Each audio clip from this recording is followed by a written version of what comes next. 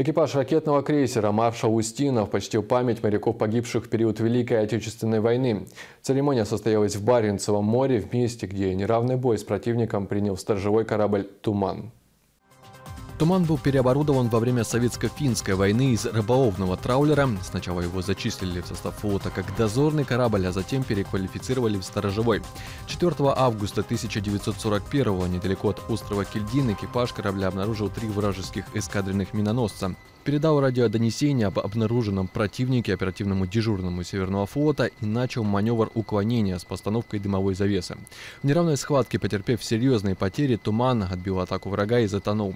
На месте гибели экипаж корабля «Маршал» Устинов спустил на воду венок, почти в память погибших моряков минутой молчания и сигналом корабельной сирены.